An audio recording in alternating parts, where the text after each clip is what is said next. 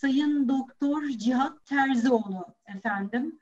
E, kendisi e, yine çok gündemde olan bir e, konuyla ilgili olarak konuşma yapacak. Enerji sektöründe dijitalizasyon. E, Cihat Bey, e, MÜSİAD Enerji Komisyonu Başkanıdır. E, bu dijitalizasyon konularıyla da e, ilgilendiğini biz biliyoruz. E, şimdi ben sözü kendisine bırakacağım. E, Cihat Bey'i yayına alabilirsek, Cihat Bey sizi açabilirsek harika olacak. Evet, çok teşekkür ediyorum. Ben de Hazirun'u değerli katılımcı. Tekrar hoş geldiniz. Hoş Buyurun bulduk, efendim. teşekkür ederim. Hazirun'a değerli katılımcıları saygıyla selamlıyorum.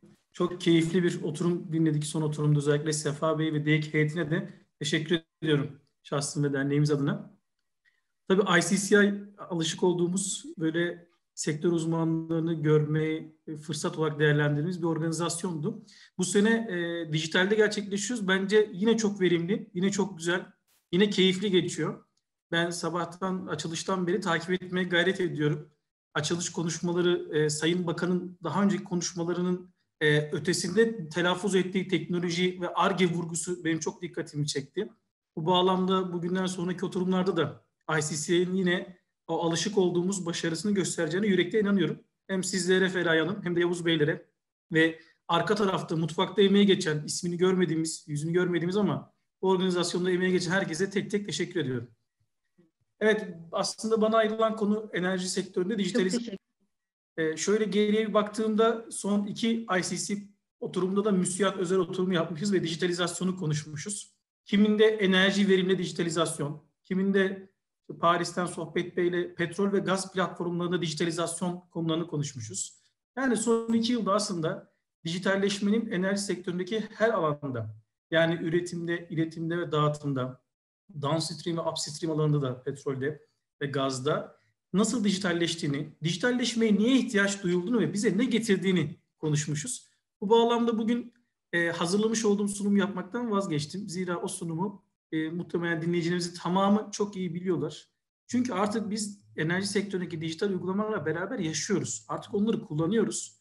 O dijital uygulamalar küreselde ve yerelde para kazanıyor. Müşterileri var. Somutlaştı, elle tutulur seviyedeler. Dolayısıyla bugün sizlere enerji sektöründe hangi dijital uygulamalar var ve dijital dönüşüm nasıl gidiyor anlatmak yerine biraz işin mümkünse e, düşüncesel tarafını paylaşmak istiyorum biraz sohbet ortamında bu işin felsefesini konuşmak istiyorum ve birlikte tahmin edelim istiyorum. Bu iş nereye gidecek ve biz neresinde olacağız? Ne gibi imkanlar ve fırsatlar getiriyor bize dijitalizasyon? Onu konuşmak istiyorum.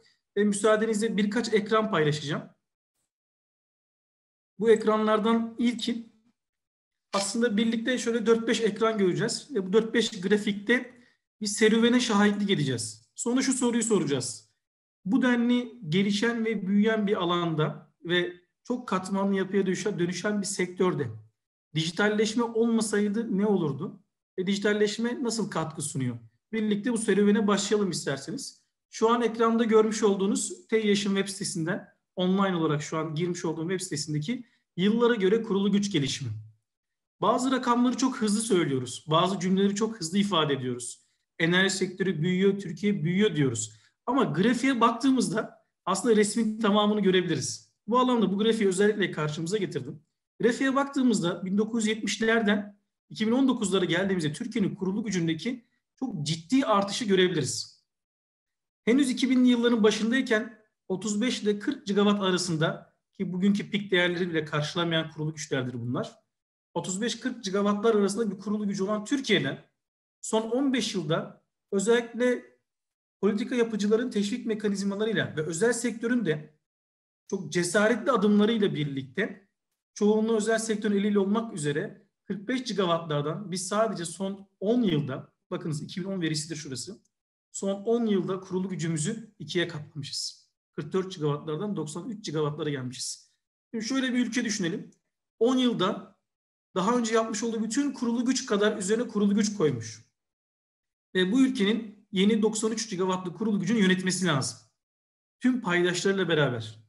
Dolayısıyla bu resim bir aklımıza dururken bir de başka bir resim, başka bir fotoğraf göstermek istiyorum size tabiri caizse. O da Türkiye'nin kurulu güç anlamında son 10 yıldaki kırılımına baktığımız zaman ve bu kırılımdaki yenilenebilir enerji kurulu gücüne göz attığımızda %161'lik bir artış görüyoruz.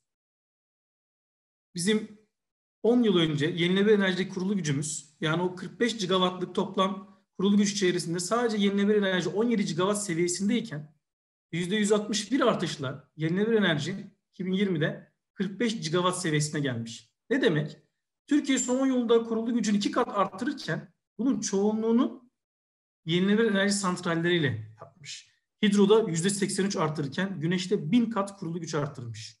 Çok küçük rakamlarda olduğu için direkt 1000 kat ifadesi geliyor. Rüzgarda 5 kat, jeotermalde bildiğiniz üzere dünyada 4. yüz kurulu güçte 15 kat güç arttırmışız.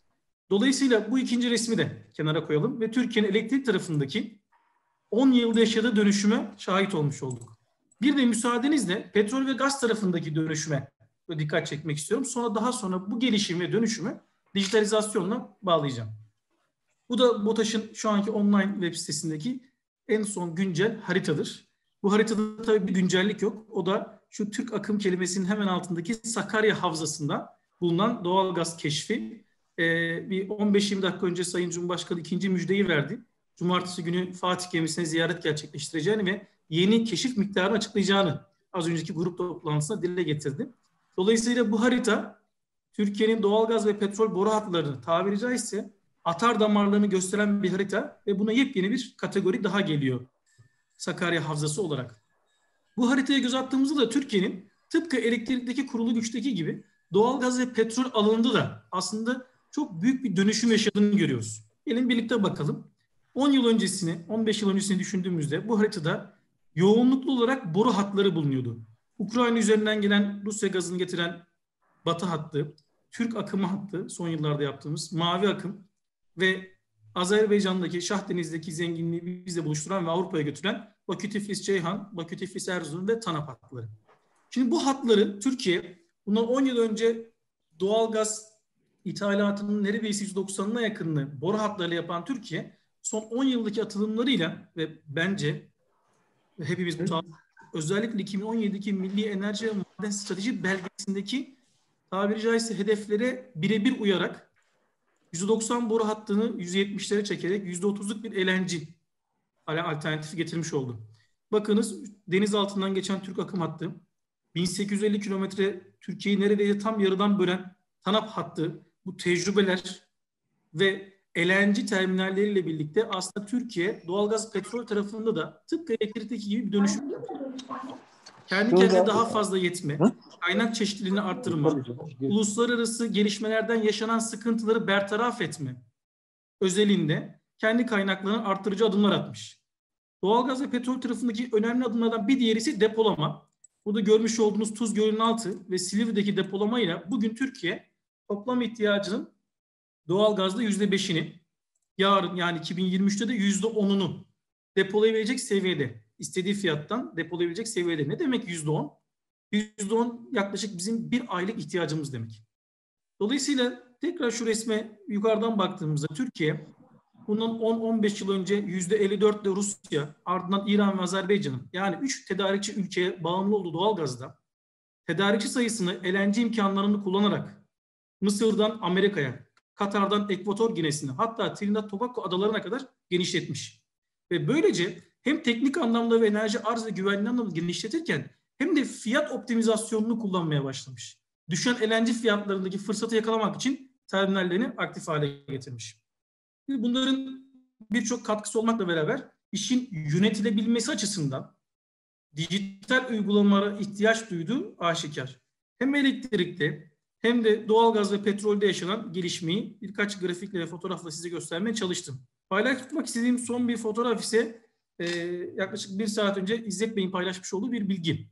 Eylül ayında pandemin tabiri caizse ilk dalgasından sonraki Eylül ayında Türkiye tüm zamanlı rekorlarını kırdı üretimde ve tüketimde. Toplamda 1 gigawatt saati geçen elektrik üretim rekoru ve Eylül ayında piklerde 50 gigawatt saate yaklaşan pik çekiş gücü yani 10 yıl önceki kurulu gücümüzün tamamına tekabül eden pik çekiş gücüne geldik. Bu rakamlar ve grafikler şunu gösteriyor. Türkiye dünyadaki diğer gelişmekte olan ülkeler gibi elektrikte ve petrol ve doğalgazda bambaşka bir dönüşüm sürecinin içerisinde. Bu dönüşüm süreci kendi içerisinde dinamik bir süreçtir. Biz enerji paydaşları olarak dahi dün konuştuğumuz konuları bırakıp bugün yepyeni konular konuşmak zorunda kalıyoruz. Bakın bu kongre gerçekleşirken çok önemli bir müjde geldi Sakarya Havzası ile ilgili. Dolayısıyla enerji de kendi içerisinde çok dinamik bir alandır. Bu dinamik alanı bir de üretim, iletim ve dağıtım tarafında düşünürsek ve son kullanıcı tarafında düşünürsek yönetilmesi açısından büyük bilgisayar programlarına, büyük verinin yorumlanmasına ve teknolojinin tüm imkanlarının değerlendirilmesine ihtiyaç duyduğu aşikar. Burası artık bizler için, özellikle bu kongreyi dinleyenler için bence tartışılmaması gereken konulardan bir tanesi.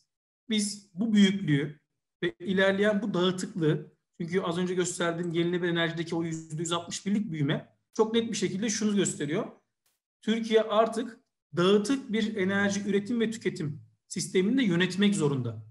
Ve bugünden sonra çatı cepheler, hibrit mevzuatı ve benzeri gelişmelerle birlikte işte mini yaka GES 3 10-15-20 megawattlık GES sahalarının kurulmasıyla birlikte 2-3 sene sonra bugünden çok daha dağıtık bir sistemi yönetmek zorunda olacak.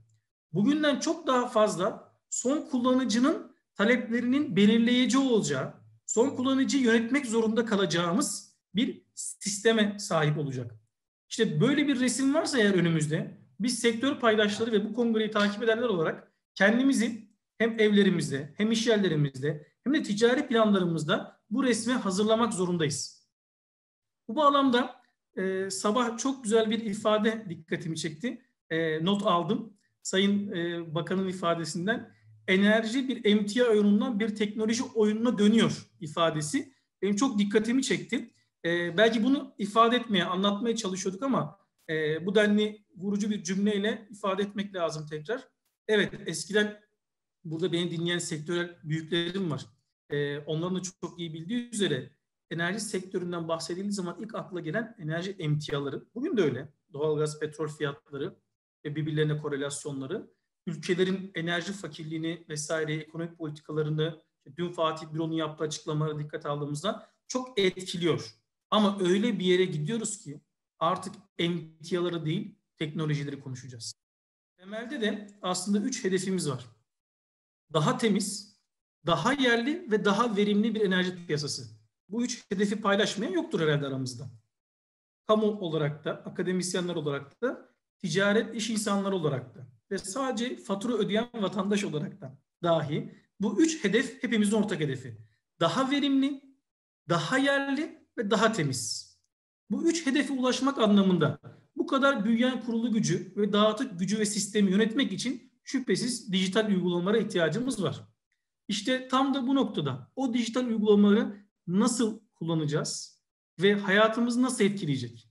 Biraz bunun üzerine düşünmek lazım. Bugün hem üretim hem dağıtım hem de iletim tarafında karşılaşmış olduğumuz dijital uygulamalar net bir şekilde bize daha verimli, büyük veriyi daha hızlı yorumlama imkanlarını verebiliyor. Ve bir müddet sonra bu veriyi yorumlayarak kendi pozisyonumuzu, tabiri caizse kendi ekonomimizi de kontrol altına almamız mümkün olacak. Şöyle düşünelim. Bundan 10 yıl önce enerjiye ihtiyaç duyan, yani tabiri caizse elektriğe ve şarj edilmeye ihtiyaç duyan cihaz sayısıyla bugün şarj edilmeye ihtiyaç duyan cihaz sayısı ve birbirleriyle irtibatlı konuşan cihaz sayısını düşündüğümüzde 20 milyar adedi geçmiş durumda. Bu cihazları düşündüğümüzde müthiş bir elektrifikasyon döneminden bahsediyoruz. Uluslararası Enerji Ajansı'nın da pandemi döneminde yayınladığı raporların ortak çıktılarından bir tanesiydi. Elektrifikasyonun en ileri düzeyde olduğu bir döneme denk geldi pandemi. Dolayısıyla pandeminin verdiği mesajları çok iyi almak lazım. Tabiri caizse bundan sonra yaşanacak durgunlukların da bir demosu, fragmanı oldu. Bu fragmandan ilk çıkaracağımız derslerden bir tanesi elektrifikasyon ehemmiyetiydi. Neden? Sağlık tesislerinin, sağlık ünitelerinin elektriğe duyduğu ihtiyaç ve bunların her daim arz güvenliğinin sağlanmasının ülkeler için, toplumlar için ne kadar ehemmiyetli olduğunu anladık. Bu pandemi sürecinden belki ikinci alacağımız derste temiz enerjinin ne demek olduğunu, sonuçlarını çok kısa bir versiyonda gördük. Belki bu denli yenilenebilir enerjideki artışın sonuçlarını 5-10 yıl sonra görecekken pandemideki hareketsizlik, karantina uygulamalarıyla beraber işte Venedik kanallarındaki görmüş olduğumuz, bizim İstanbul Çamlıca'da bile kendi sokağımızda görmüş olduğumuz o temiz hava, daha önce duymadığımız kuş sesleri, o iklimdeki gözle görülür, hemen hissedilebilir değişiklik aslında bir mesaj vermiş oldu. Yani eğer siz politikalarınızı ve işleyişinizi yenilenebilir enerji ve temiz enerji alanında devam ettirirseniz böyle bir dünyaya ulaşmanız mümkün mesajını vermiş oldu pandemi. Dolayısıyla biz sektör paydaşları olarak birincisi elektrifikasyonun arttığı dönemde, ikincisi elektrifiye olacağız yani her yere elektriğe ulaşacağız diye temiz enerji göz ardı etmememiz gerçeğini de bir kez daha hep beraber anlamış olduk. Ve Türkiye aslında pandemi sürecinde en hazırlıklı enerji anlamında da ve en iyi dünyaya mesaj veren ülkelerden bir tanesi olduğunu inanıyorum. Neden? Türkiye'nin son 3 yılda 2018 sürecinden sonra yaşamış olduğu zorluklara rağmen yenilenebilir enerji alanındaki bu artışlar, kurulu güçteki bu artışlar aslında kararlı olunduğunda birçok şeyin zor dönemlerde dahi başarabileceğinin bir göstergesidir. İkincisi petrol ve gaz alanında yaşananlar. Türkiye belki birçok açıdan uluslararası ilişkiler, ekonomi vesaire birçok açıdan nispeten zorlu bir döneminde dahi bu adımları atabildi, bu keşifleri yakalayabildi. Dolayısıyla şunu mesajını veriyoruz. Bizler zor dönemlerde dahi enerji kurulu gücümüzü, enerjideki yenilenebilirliği ve temiz enerji hedefini gerçekleştirme yolunda ilerliyoruz. Dolayısıyla bu hedefleri gerçekleştirirken ihtiyaç duyacağımız dijitalleşme uygulamalarında da dünyaya örnek olacak bir pozisyonda olabiliriz. Şimdi ben bu cümleden müthiş bir fırsat yakalıyorum. Hem iş insanlar için, hem sivil toplum için, hem de daha çok öğrenciler için. Yani girişimciler için büyük bir fırsat var bu cümlede. Neden? İspat ettiğiniz bir şey var. Zor dönemlerde dahi hedef koyduğunuzda petrol, gaz ve elektrikte ve temiz enerji ve enerji verimliliği başlıklarında hedefinize ulaşabildiğinizi gösterdiniz. Bu gerçeklikten yola çıkarak ve bundan güç alarak dönüp dijitalleşme uygulamalarında da dünyaya örnek olacak uygulamalar yapma imkanınız var. Tabiri caizse buradan unicornlar çıkarma imkanımız var. Bence ICCI kongresi buna da vesile olmalı. Yani bu heyecanı, bu cesareti tüm dinleyicilere vermeli. Cesaretin ve heyecanın yaşı yoktur. 20 yaşındaki 50 yaşındaki kişi için de aynıdır.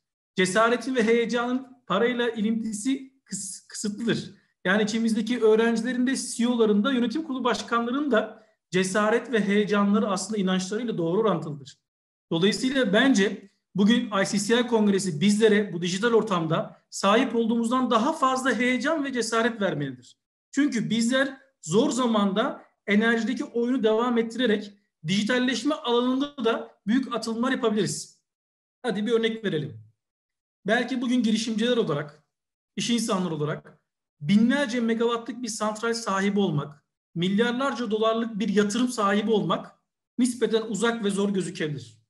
Ama o binlerce megawattlık santrali ve portföyü tabiri caizse ayağınıza getirecek, sizden hizmet almaya getirecek dijital uygulamalar yapmak mümkün.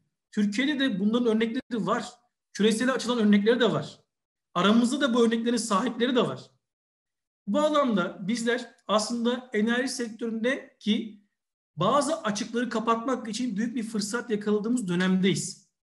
Bu dönemin doğru gerçek geçiştirilmesi gerektiği kanaatindeyim.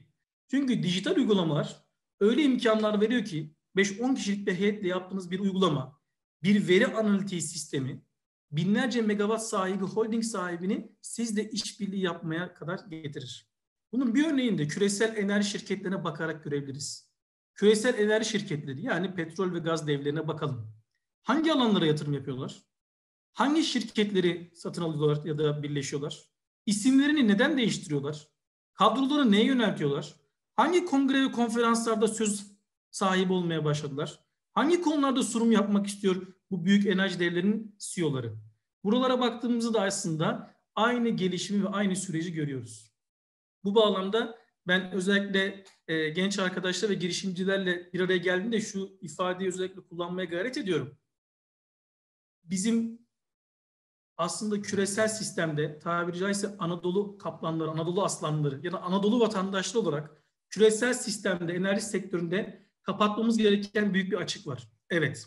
teknoloji sahibi olma açısından bahsediyorum. Çok büyük bir açık olabilir. Fakat bu açı çok hızlı bir şekilde artan bir ivmeyle kapatma dönemindeyiz. Dijitalizasyon bize o imkanı veriyor.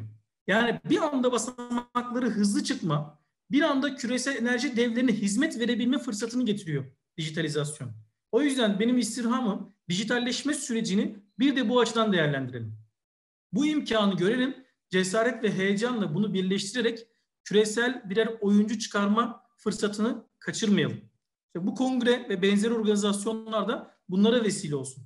Bakın ne güzel enerji sektörün en tepe yöneticilerinden başlayarak, kamudaki en tepe yöneticilerden başlayarak dinleme fırsatı yakaladık. Ve hepsinin konuşmasında kilit kelimeleri, cümleleri yakalamaya gayret edersek teknoloji, bilişim, IT, haberleşme teknolojileri ön plandaydı. İşte bu aslında bizlere büyük bir fırsat veriyor. Türkiye'den rahatlıkla çok iyi girişimler çıkartarak küresel enerji devlerine hizmet verebilecek, onlarla birlikte yürüyebilecek ve Türkiye'nin enerji bağımsızlığına arz ve güvenliğine hizmet edecek pozisyonda olabiliriz. Bu bağlamda bu fırsattan bahsederek son olarak da şöyle bitirmek istiyorum. Yapılan tüm çalışmalar, dijital organizasyonlar, dijital uygulamalar tamamı çok kıymetli ve gerçekten açığı kapatarak sizi bir adım, bizi bir adım öne geçirebilir. Ama unutmamak gereken bir şey var. Eğer biz insanı odak noktası yapmazsak, burası çok önemli. Zira dijitalleşme noktasında da yarış var ve bu yarışta bizden önde olan ülkeler var imkanlarından dolayı. Ama günün sonunda uzun vadede kazanan olmak istiyorsak insana hizmet eden ve insan odaklı dijital uygulamaların sahibi olmalıyız. Kısa vadede diğer dijital uygulamalar çok hızlı koşabilir. Çok ön sıralarda olabilir. Nasdaq'ta çok yukarılarda görebiliriz. Ama uzun vadede insanı hedef alan, insan odaklı ve insanın hayrına hizmet eden çalışmalar daha kalıcı ve daha yaygın olacaktır. Dolayısıyla dünyanın konuştuğundan bir adım ötesini konuşmalıyız. Dünyanın sahip olduğu ortalamadan bir adım ötesini, bir adım ilerisini tartışıyor olmamız lazım. Dolayısıyla bizlerin tartışması gereken konu dijitalleşme gerekli. Dijitalleşme uygulamaları dünyada kullanılıyor. Biz de yapmalıyız. Artı bir adım ileriye gidiyorum. Biz her ne yaparsak yapalım daha uzun vadeli ve tabana yaygın olması için. Tabana yaygın ne demek? Sadece batıda kullanılan uygulama değil. Sadece 500 TL'den fazla elektrik faturası ödeyenlerin uyguladığı, kullandığı bir uygulama değil. 1,5 milyar elektriğe ulaşamayan insanların da ileride kullanabileceği. Afrika kıtasının da ileride kullanabileceği bir tabana yaygın bir uygulama için insanın odak noktasına koymalı ve dijitalleşmenin insana hizmet etmesi gerektiğini unutmadan hareket etmeliyiz. Belki bu pandemi bunu herkese bir kez daha hatırlatmış olabilir. Zira insan odaklı olmadıkça, insanı korumadıkça, insanın hayrına ve faydasına çalışmadıkça her şey nakıs kalıyor. Büyük rakamlarla ifade edilebilir. Borsalarda büyük sıfırlarla ifade edilebilir. Lakin eksiktir, nakıstır. Çünkü insan odaklı olup sürdürülebilir ve kalıcı olması bugün büyük rakamla ulaşmasından daha önemlidir kanaatindeyim. Bu bağlamda e, bir programda soru gelmişti. Tek, Endüstri 4.0 konuşuluyor. Enerji sektöründe de çok aktif değerlendiriliyor. Endüstriye de enerjinin aktif olması için bir fırsat. Fakat Endüstri 5.0 sizce nasıl bir şeydir? Bugünden tanımlamak istesek nasıl tanımlayabiliriz? diye bir soru gelmişti. Orada şu cevabı vermiştik. İnsanın temel alan ve insanın hayrı olan tüm çalışmalar aslında Endüstri 5.0 başlığı altında toplanabilir. Ne demek istiyorum? Bugün bulunduğumuz teknolojik imkan ve fırsatların bir adım ötesi ancak tüm bu imkanların ve çalışmaların insana hizmet ettiği noktada olacaktır. İnsana hizmet ederseniz para da kazanırsınız, meşhur da olursunuz, dünyaya isminizi duyurursunuz, şirketinizi de büyütürsünüz. Ama orta ve uzun vadede. Bu bağlamda nacizane hatırlatmak istediğim başta kendime sonra dinleyicilere biz dijital uygulamaları ve teknoloji alanında çok hızlı ilerleyerek bu nüfusumuzun da vermiş olduğu güçle birlikte küresel unicornlar çıkartabiliriz. Küresel enerji devleriyle aynı masada olma fırsatını yakalayabiliriz. Şahsımıza, şirketimize ve ülkemize katkı sağlayabiliriz. Ve artı insanın odak noktasına alarak da bu uygulamaları ve bu dijitalleşme sürecini sürdürülebilir ve tabana yaygın kılabiliriz diyerek teşekkür ediyorum. Çok teşekkür ediyorum Cihat Bey. Gerçekten ilginç bir e, sunum yaptınız. E, ben de e, takip ettim. E, birkaç soru var e, Cihat Bey. Vaktimiz de fena değil. Bir 5-6 dakikamız var. E, Mansur yoksa bu soruyu ben yöneltmek istiyorum. Biraz da yorum da var sorunun içerisinde. E, diyor ki e, takipçimiz e, dijitalleşenlikten ne kadar emin olabiliyoruz diyor. Kendi altyapımıza ne kadar hakim olabiliyoruz? E, ICCI programı içerisinde bu siber güvenlikle ilgili özellikle bir oturum açtık. Çok kıymetli konuşmacılarımız var. E, ama siz işin içinde olan biri için e, bu yoruma nasıl cevap verirdiniz? Bu özellikle siber güvenlik konusu için. Evet aslında bu soru teşekkür ederim. Soran kişiye de ileten sizlere de bir hatıramı hatırlattı bana. Ee, az önce Sefa Bey bahsetti e, Almanya ile olan e, iş forumları ve benzeri programlardan. Geçen sene öyle bir programa katıldık. Almanya Ticaret Odası'nın organize ettiği bir programa katıldık ve e, yanlış hatırlamıyorsam Frankfurt'taydı. Endüstriyel tesisleri geziyoruz. Tabii gündemlerden bir tanesi de Endüstri 4.0. E, firmanın ismini vermeyeyim. Bir fabrikadayız. Fabrika otomotiv sektörüne parça üretiyor ve örnek gösterilen fabrikalardan bir tanesi. O yüzden biz de oraya götürüldük. Ve Türk heyeti olarak fabrikanın yöneticisinin sunumunu dinledik. Soru faslına geçince ben de bir soru sormak istedim. Ee, Endüstri 4.0'ın tabiri caizse doğduğu ülke, ülkedeyiz. Almanya'dayız. Ve doğduğu ve en büyük hizmet edeceği sektörlerden bir tanesi olan otomotiv sektöründe faaliyet gösteren lider fabrikalardan bir tanesiyiz. Az önce sizler ifade ettiniz. Siz kendi üretim hattınızda, birazdan gezeceğiz orayı. Siz kendi üretim hattınızda Endüstri 4.0'ı yüzde yüz uyguladınız mı? Uygulamaktan çekindiğiniz bölümler var mı? Sorusuna aynen şu cevap gelmişti. Bu cevap, e, bu soruya da cevap olsun. Biz Endüstri 4.0'ı yüzde yüz uyguladık diyemeyiz. Hatta belki Endüstri 3.2'lerdeyiz. Çünkü her o prosesi ve her bilgiyi direkt buluta çıkarmayı, direkt dijital olarak birbirine bağlamayı çok da uygun görmüyoruz. Özellikle siber güvenlik ve benzeri tehditler bizi bu noktada daha temkinli davranmaya itiyor cevabı. Tam da tabiri caizse cevap vermesi gereken kişiden gelmişti. Ben bu cevabı aynen alıyor ve sizlere iletiyorum. En önemli hususlardan bir tanesi siber güvenlik hususudur. E, dijitalleşiyoruz diye tüm veriyi, tüm datayı ve tüm evet. buluta almak tabiri caizse, erişime açmak aynı zamanda tehlikeler getiriyordur. Ama unutmamak lazım bu tehlikeler aynı zamanda fırsattır. Dolayısıyla yine buradan iş insanlarına, girişimcilere, öğrencilere de fırsat çıkıyor. Demek ki biz biraz da zihnimizi hep bu dijital uygulamalar üzerine çalıştırdığımız kadar döneceğiz. Biraz da siber güvenlik uygulamaları üzerine çalışacağız. Mesela bu noktada Dijital Dönüşüm Ofisi, Sayın Ali Taha Koç'un ofisinin yaptığı çalışma çok önemliydi. Pandemide takip edenleriniz olmuştur. Yapmış oldukları yarışmalar, o hackleme yarışmaları, siber güvenlik yarışmaları bu anlamda bir farkındalık da oluşturdu diye düşünüyorum. Evet. Ee, çok teşekkürler Cihat Bey. Ee, bir sorumuz daha var. Ee, Oğuzhan e, Tanrı e, Kuluoğlu'ndan. İnsanı odaklı uygulamalar derken enerji bazında e, biraz örnek verebilir misiniz demiş. Nasıl olmalıdır? Yani insan evet. odaklı enerji derken. Apayrı bir derken. konferans konusu belki ama şöyle özetleyebiliriz. Enerji uygulamaları günün sonunda daha temiz, daha verimli ve daha etkin olmayı hedefliyor. Evet. İşlemleri hızlandırmayı, aracıları aradan çıkarmayı, blockchain teknolojisini düşünelim. Aracıları aradan çıkarmayı, maliyetleri düşünmeyi, mükerrerliği engellemeyi, dolayısıyla akıllı kontratlarla beraber güven mekanizmasını tesis etmeyi hedefliyor. İşte bu dijital uygulamaların bu hedeflerinin gerçekçi olması ve insana hizmet edecek olması çok çok önemli. Çünkü bir müddet sonra bir dijital uygulama tasarlarken e, Türkiye'deki uygulamaları tenzih ediyorum. Odak noktası o aracıyı azaltma, verimli ve etkin olma, mükerrerliliği engelleme yani insanın, kullanıcının faydasına olacak uygulamalardan bazen odak noktası ticari kaygılardan ve kısa vadeli hedeflerden ve yönlendirmelerden dolayı yönlendirme kısmı da önemli. Yönlendirmelerden dolayı kayabiliyor. Neye kayabiliyor?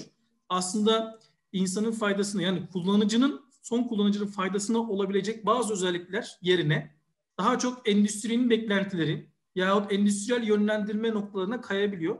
Bu bağlamda bizler e, küçük bir uygulamadan küresel bir uygulamaya kadar her bir uygulamayı düşündüğümüzde mümkün olduğu kadar son kullanıcının faydasına olacak, son kullanıcıya hizmet edecek ve tabana yayılabilecek.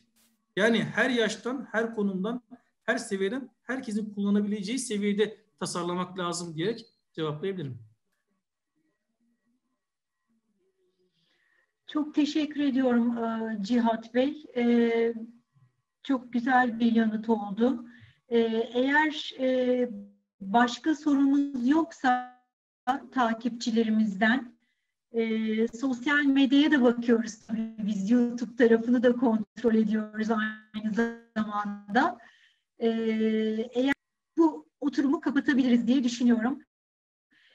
Cihat Bey çok teşekkür ediyoruz sizlere. Çok güzel bir e, anlatım oldu.